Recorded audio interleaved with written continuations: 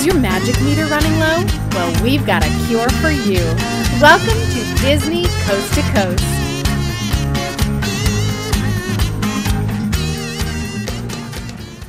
Hey, folks, and welcome to Dizney Coast to Coast, the ultimate unofficial Disney fan podcast. I'm Jeff DePaoli. And I'm Patrick Dougall. And Patrick. Jeff. My friend Brandon over at the happiest blog on earth sent me a link to a video Mm-hmm.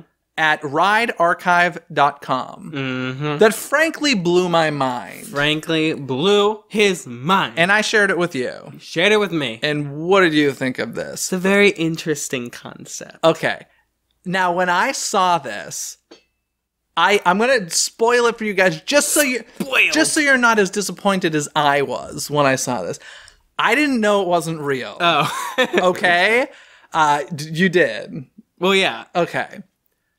Don't say it like, oh, this is impossible, because this is awesome. And it's not like I thought, oh, this exists now. I thought it was something that the company was working toward. Uh, and I was like, whoa, whoa, mind blown. Let's let's explain what the site is. ridearchive.com. Yeah, I know. I'm saying, Oh. what, what's it like? It's Oh, basically it's basically almost like a museum of past attractions that are no longer available. Exactly. It's uh it's interesting because it takes us through, you know, what could be possibly a theme park experience or a virtual reality at home experience. Um I guys, when you're done with this, go check ridearchive.com and watch this like 4-minute video explaining this. We're going to actually interview the person who created this website and talk to him more about it, get in more detail and kind of what he's hoping to uh, achieve with this. But I'm just telling you, as a person who didn't realize this was fake, mind blown. So, uh, yeah, anything you else you want to add before we give him a call? Let's do it. Okay, we're gonna call him. Ladies and gentlemen, on the phone we have Jay Huddy, the creator of uh, RideArchive.com. Jay, welcome to the show. Thank you so much, uh, Jeff, Patrick, and the uh, DCTC Nation. The DCTC Nation. I like that. I usually call I them just- DCTCers, but uh, I like DCTC Nation. That works for me. That's good. It is coast to coast. It, it, it encompasses the nation and parts of Hawaii, from what I understand. Oh, yeah. Exactly. There we go. Um, so tell us first of all. I we were just talking at the introduction of the show how much we love your website, and Uh-huh. I didn't realize right, it wasn't real the first time I saw it. So it was a bit disappointing when we found that out. Yeah. It's disappointing me for me too that it's not real. So where did this come from? Oh, I'm sorry. Actually, before we jump into the questions about the site, we have five questions that we ask all of our guests. So I, I definitely Oh, don't want to miss it. that. So, first off, yeah. favorite Disney animated movie? Oh, jeez.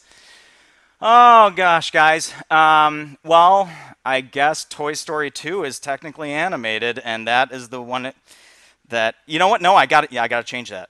It's it's Inside Out now. It's probably yeah yeah. It's it yeah. It, Toy Story 2 got bumped down a notch because uh, that was a whole new game that they brought to the screen, and uh, it uh, it it's I I'm still crying right now while I'm talking right now. I'm just How about a favorite Disney ride? That's that's a great question. Existing or not existing? Because that is the theme of this interview, I think. Does not matter. Oh, great, awesome. I can easily answer this. It is Horizons. It was. It's it's so tough. I, I was worried that you would ask me what ride is currently in existence that I would love, and uh, and I can't answer. It's like a first love. I've never gotten over it. Um, and even then, I mean, I went to Disney as a kid with like I had I had uh, I had chicken pox and I went to Disney and I yeah. Twenty Thousand Leagues Under the Sea was awesome. Uh, Mr. Toad's Wild Ride. We had that on the East Coast for a while. It's nice to see that it's still alive and well on the on the West Coast, where I, I just moved a few months ago. So I'm, I'm actually out here with you guys, and uh, and looking forward to like uh, exploring more Disneyland, which which was just an idea when I was growing up. Um, but uh, Horizons was the thing uh, that really captured, and, uh, and we can talk about it a little bit maybe later on because it, Horizons was the was the inspiration t- for this project really like when i uh, it was it was a soul crushing moment to to realize this horizons was no longer in existence and i think that's that was the germ of this idea Very cool. Do you have a favorite Disney song? And this can be anything. This can be movies. This can be theme parks, TV. Yeah, yeah. Um, I would have to say it's um, there was a record of of songs from the theme park rides that I had growing up. A, an honest God record. Records, by the way, were these wax or vinyl discs that you would put onto a uh, thing called a record player, aptly named. Um, and um, uh, and I would listen to that at no end, and it had like the uh, theme song from uh, the um, uh, the very at this point uh, from your podcast, kind of controversial Main Street Electrical Parade.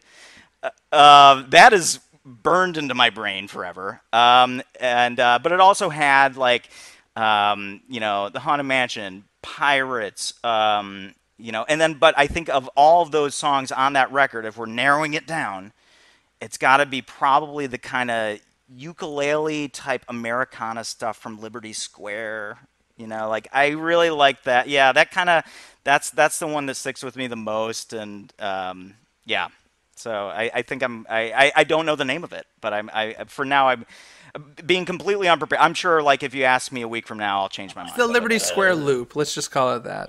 yes. Yes. Um, how about a Disney theme park show or parade, live performance? You know, I that's the thing that where you and I like you guys like we kind of like split paths. I've never been into the shows. I I oh, okay. I, I I guess it would have to be. Well, the Main Gosh. Street Electrical Parade is a, is you know a live performance. That yeah, that does bring me back. I never got to experience the one that takes place on the Seven Seas. Uh, the, the, oh, the, the, I've heard that's the water pageant. Yes. Um, yeah, I, I you know. Uh, I don't know. Is the Indiana Jones Stunt Spectacular a show? No, yeah, absolutely. Definitely. That counts. Yeah. Okay, I'll I'll go with that. That's that's probably yeah. That's that's the one that's coming to to mind uh, most immediately. So that must be my favorite. okay. and then finally, do you have a favorite theme park? Oh gosh, um, I thought I, I have two notes of I, I have two pages of notes that I made for this, and I'm completely unprepared for these questions. Um, so uh, I would have to say it's it's got to be the experimental prototype community of tomorrow. Okay, so now let's jump into your website, uh, which as we were describing it at the beginning, but let's hear, how would you describe your website, ridearchive.com? Uh, thank goodness that I uh, was able to write it and find a great narrator, Rachel West. Um, she works uh, in, in uh, I think, Iowa, um, and that she gets to speak about it better than I can. Um, I'm, I'm not good at pitching ideas, guys. Um, but uh, that's that's one of the reasons I'm I'm very good at like putting them together and composing them, packaging them, and sending them out. Um, and uh, and if you really want to know what it's about, go to the video. But I mean, I guess um, you know, I would I would like to actually ask you like, what do you think it's about? Like, what you've seen the video, what what do you think that the the Ride Archive is all about? How do you perceive it? I mean, to me, like I said, I thought it was a real thing, and actually something interesting happened several years ago at one of the D23 expos at Disney's convention, where um, somebody actually in the audience, I can't remember, it was some Imagineering panel, and somebody in the audience actually said, Hey, have you guys ever considered archiving your lost attractions on DVD or something because they go away forever and we never get to see them again. And it was really interesting mm-hmm. because somebody big in the theme park community, I think it might have even been Tom Staggs at the time, made a mm-hmm. remark like, hmm, we've never thought of that.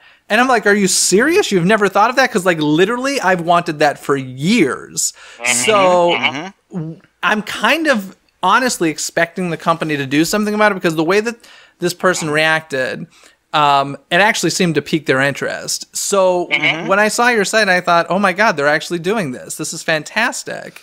Mm, I'm so sorry. Gosh. They're not. They're not doing it yet. Let's put it that way. Um, and I think, and I think, hopefully, what I'm doing with uh, with it, and, and and just for your listeners, I mean, I, I, don't know if you guys play clips, but I mean, you're welcome to to play the the the, the, audio holds up. I mean, you don't necessarily need a visual to uh, to to understand what it's about just by listening to the narration and the mix and everything else. Um, but yes, it's it's it's recreating uh, lost rides uh, so that future generations can see and hear and feel and experience them um, and share them. Uh, uh you know. Um, moving forward, I think that a lot of like technology with uh, theme park rides and attractions is always very forward leaning. And um, it's all about like, what can we do next? Well, what if we stop and look back and see like, well, what can we preserve? You know, like what can we, um, we, you know, I think of theme park rides as mechanical performance art, and we we preserve so many uh, forms of art, uh, paintings, um, you know, uh, sculpture, music, literature, film, architecture. All of these things, by the way, seem to be encompassed in the beauty of a dark ride, uh, or any ride, really. And yet we don't seem to give it that respect. And um, it seems like, and I don't know if it's because there's theme park rides, they're associated with, you know, the carnival culture. It, they're they're thought of less as, you know, less than. Um, I, I don't know why we're not paying more attention to this because I mean, if you think about a ride at Disney, and uh, say, let's just say, uh, Journey Through Inner Space, right? Which I would have loved to experience. Uh, and I would like to if we could make this thing happen. Um, there are hundreds of thousands, if not millions, of people from all over the world that had this unified cultural experience. And what if we could share that? And like that, that there's something like I have nothing in common with somebody in Australia or you know uh, or, or or or or France or anywhere in the world but like if we you know we could talk about that ride if I meet somebody overseas and they went on the same ride I did I, I will never stop talking. And pro- and if it's a good ride they won't either and we'll like become very good friends you know? So I think that there's this kind of unifying uh, quality about uh, about being able to to, to make it uh, to, to, to, and again I emphasize this also in the presentation you know it spans across the ages. Grandparents and grandchildren you know can share an experience that they you know th- that they can u- be unified over the the experience of a, of a of a of a moment that's very personal and very important to um, you know a grandparent or a parent that's no longer available. So to take them there and actually to take your kids or your grandkids and kind of share that experience, I think is a great thing for you know just uh, unifying you know uh, families and I don't know. Maybe, I mean, I, I, does that sound crazy? I mean, I, I, maybe it's maybe I'm thinking that it's a much bigger idea than it is. I mean, it's really just it, when it comes down to it, it's just a theme park ride, and not even that. It's really just it's a simulation of a theme park ride. Well, since since this entire thing began, have you ever been in touch with the Walt Disney Company? I have, um, and I'm I'm going to tell you as much as I can. Uh, I haven't signed anything uh, that says I can't talk to you about it, but I do uh, owe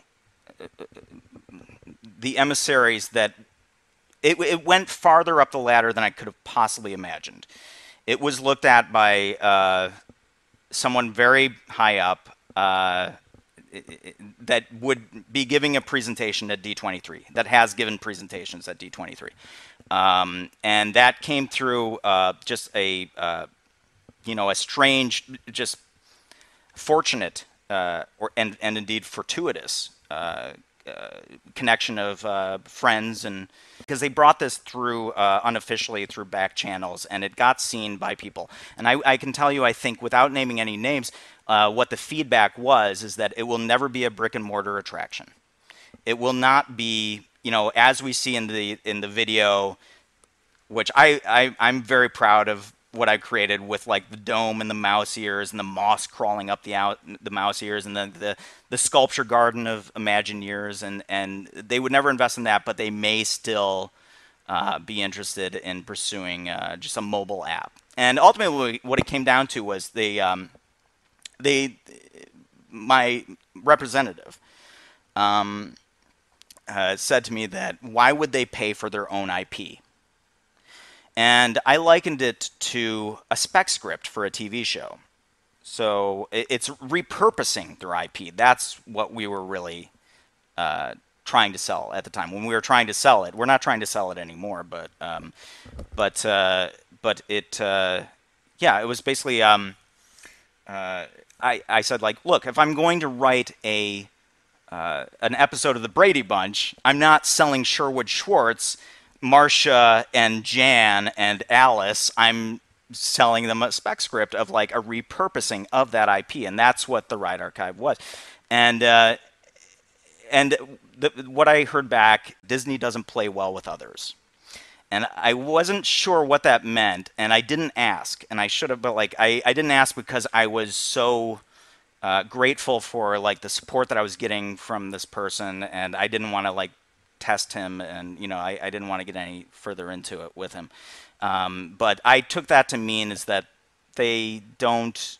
Well, they, they have a very strict like uh, uns, no unsolicited, um, you know, ideas policy. Uh, I think even before I got that far, I, I, there was a friend of mine in New York who went to college, was a college roommate of like uh, a VP of Imagineering, and and he said, "Oh, just call him; it's gonna be fine." It's like, really? He's gonna be okay with this? You know it's like uh yeah okay. And i called him and the and the, and he was driving and it was like the phone call was it, it, lasted five minutes. And i and he said like you know you can tell me all about your idea as long as it has nothing specifically to do with disney. And i was like i'll call you back. Like I was like that's pretty specific. I mean, and that's the thing is you can repurpose this for Universal or whatever, but Universal doesn't have the heritage that that amazing like uh, well of heritage to draw from that Disney does. I mean, and I still think I don't know. I mean, you could do it for what? I mean, what do you have?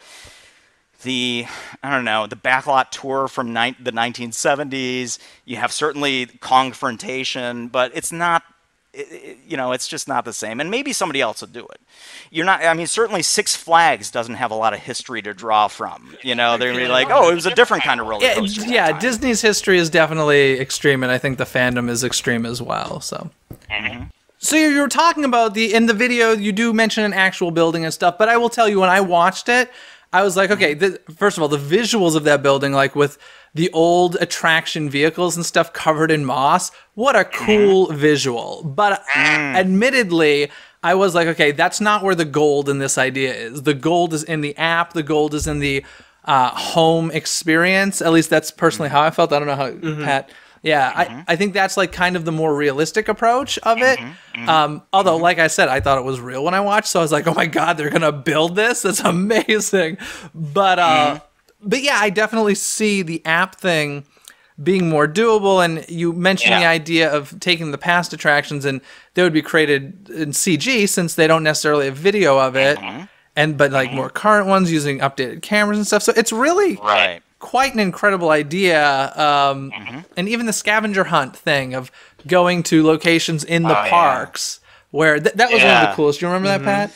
They uh, for those of you who haven't seen it, they um, basically if you go to a location where attraction used to be in the parks, it would, uh, you know, something on the app would click mm-hmm. in and show you the original attraction, which is so cool. So. Yeah.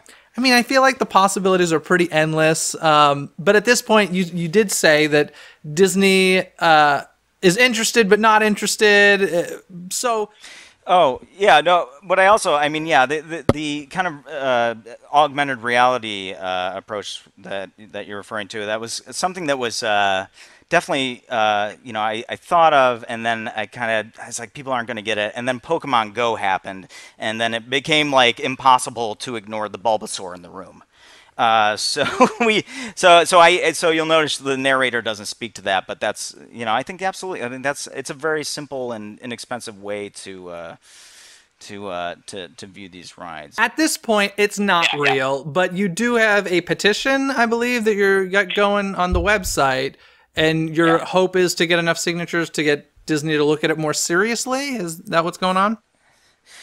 Yeah, that's that's the base. I mean, I really want people just to get interested in it. Um, I, I, you know, uh, it, took it to Disney with uh, the kind of expected results. Um, it's I'm in a weird position. I I've had kind of a tenuous relationship with Disney in the early, uh, or I should say, late '90s. um, I made a video game called Los Disneys, uh, which um, they were not happy about. Um, it was uh, it was basically um, oh, uh, okay. So it was an Entertainment Weekly, Details Magazine, Wired. Uh, picked it up, and uh, it was really like a totally innocent project. It was like based on conspiracy theories and urban legend and all the great things like you know about Disney, but taking them all as like Bible fact, you know, like you know, gospel truth and uh, and compiling it into a narrative for a game. And so I'll tell you what it's about, and only because I rehearsed it a million times uh, and had to say it a lot was, um, and and remember this is before where we are now, but so this is a portrayal of the future. Uh, takes place in the year 2015, five years after the Disney Corporation takes over the, the peninsula of Florida and makes it their own country called Los Disneys, hence the title. Your job is to infiltrate the state capital, formerly the Magic Kingdom, uh, where President uh, President Michael Eisner plans on thawing out uh, the cryogenically suspended head of Walt Disney, uh, essential to his plots of world domination. But doing so initiates a doomsday device that sends nuclear warheads to demolish uh, every major metropolitan center in the world, uh, paving the way for what they would call Disney Planet. And in the end, I mean, it's still up. You can go to losdisneys.com and, and, and, and play it. It's got graphics that are better than Doom, but worse than Minecraft. Um, but uh, but it's it's it's a it's a fun little story. But I'll just tell you how it ends. It turns out you don't win the game; you just finish it. It turns out you were working for Eisner all along, and it was just kind of like this this observation of uh, you know globalization and everything. And I thought it was really fun, and also in a way um, for me to kind of visit the parks to recreate again it's weird i have this whole history of just trying to recreate the parks without being there because i mean you guys are very fortunate. I, I, understand that you're close to the parks and it's someplace that you can go to frequently where it was like this kind of special treat uh, you know uh, when i was a kid and then in my 20s i was very poor and so but i wanted to go to disney. And so i was like i'm going to make my own disney you know and so I, I recreated a lot of the rides and everything and and uh, in the in the game, and and uh, uh, even before that, I, I brought around, like my last trip to Disney was in my teens with my parents, and I I walked around the park with like a um, before YouTube and anything else, like with a Panasonic VHS camcorder, and like it was like the size of a microwave, and you like and I I just documented all of the you know like Vertov's man with a movie camera. It's very cinema verite. Very, you know, I didn't photograph myself or my family. It was just like I am a person going through and experiencing this, and um, and I watched that for all for you know like that kept the magic in my heart for like ten years. You know, uh, because I didn't have the means to like experience it, and you know, even when I was like even younger, like I made a I made a model of Epcot Center I started with a soccer, uh, with a, a, golf ball for for Spaceship Earth, but then I was like, oh, this is this scale. I want to get into these buildings and lift off the roofs, and I want to go into Communicore East and West, and uh, and create that too. And so that wasn't that scale didn't work out. So I spray painted a soccer ball silver.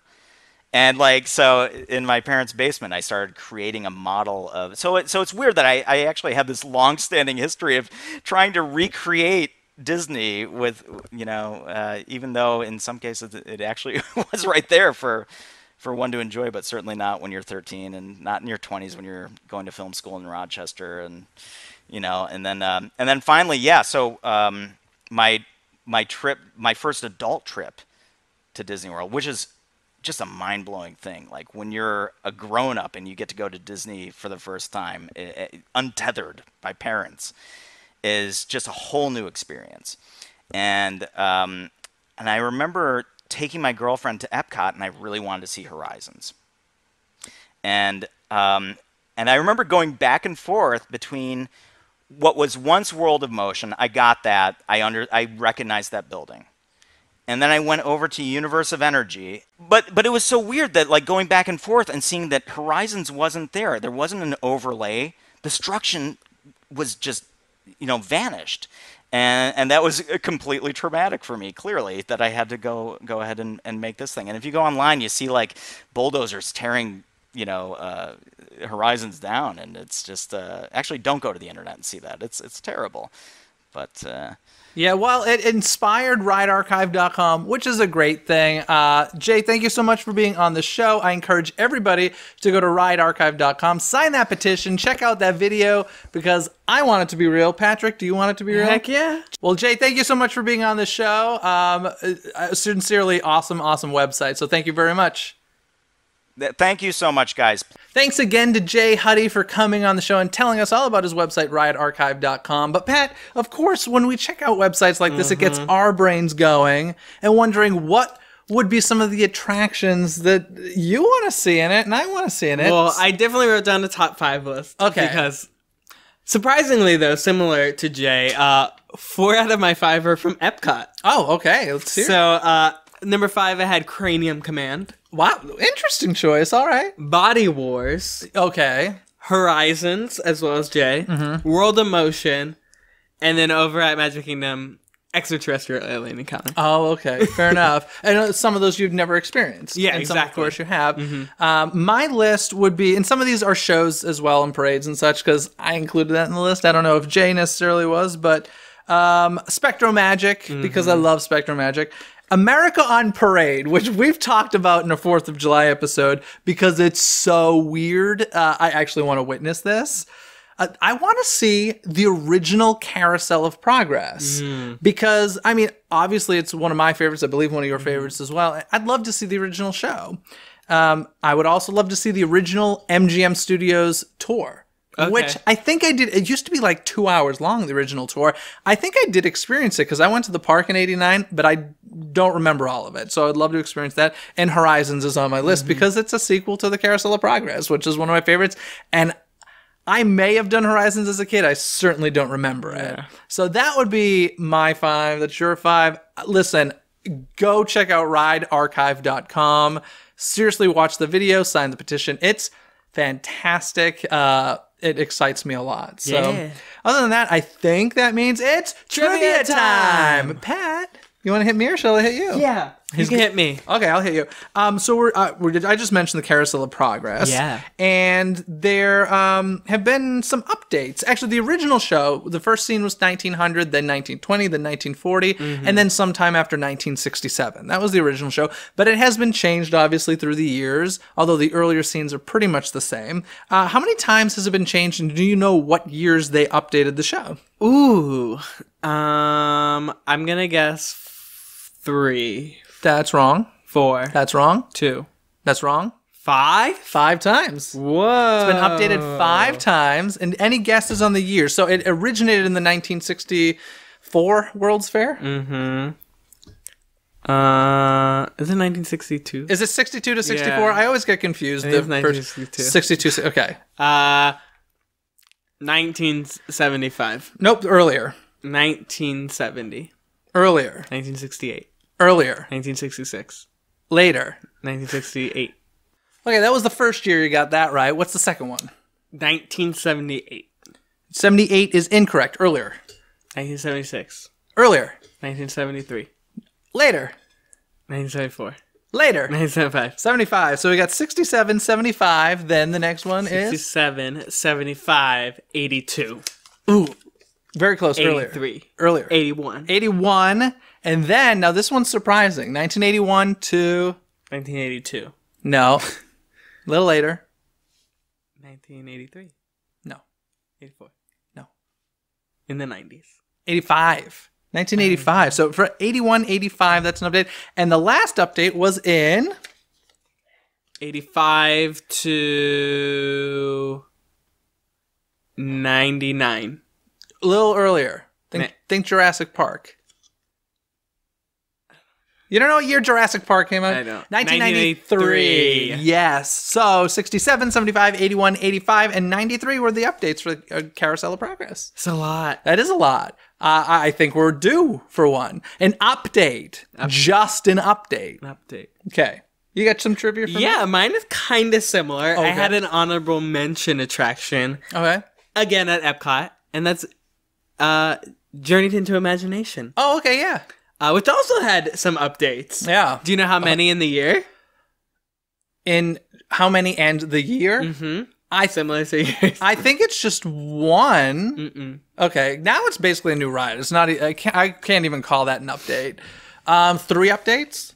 Three updates. So it opened in '82. 83. Oh, it didn't open with the park. Interesting. It opened in '83. I'm gonna say there was an update in '92, Nope. '93, No. '94. No. wrong way. Up. '99. Yes. 1999. There was an update, And then and then and oh, when was this new one made? I feel like it's been around for a while. '99, like 2007, six, earlier. It's a ve- the Whoa. second one was very Oh. short as well. 2004, No. Lower. Three. Lower. two. Two. 2002, so 99 99 to and 2002. 2002. So wait a sec. There was the original attraction in 1983 Original attraction called Journey into Imagination. with Figment.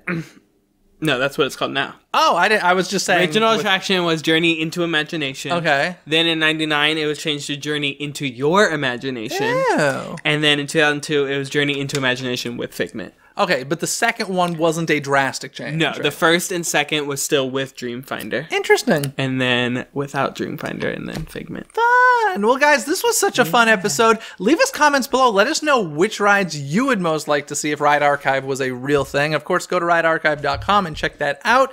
And um, between episodes, you got to hang out with us, guys, in places like. Twitter, Instagram, Facebook. You can listen to us on iTunes and SoundCloud. Go to our blog posts on Tumblr. We're everywhere. We're everywhere, and all that can be found at DizneyCoastToCoast.com. Thanks for joining us this week. Have a fantastic week, everybody. We will see you next time. Bye. Bye. Thanks for listening to Dizney Coast to Coast. Have a magical day. Jingle bell. Jingle bam. Jingle bam. That's the, that's the official way to say it, guys. Whenever you refer to the show, please go jingle bell, jingle bam. Yeah. Done. Uh, in fact, we're that's the only way we'll refer to it on the show from now on. There you go. Okay? Every future episode, jingle bell, jingle bam.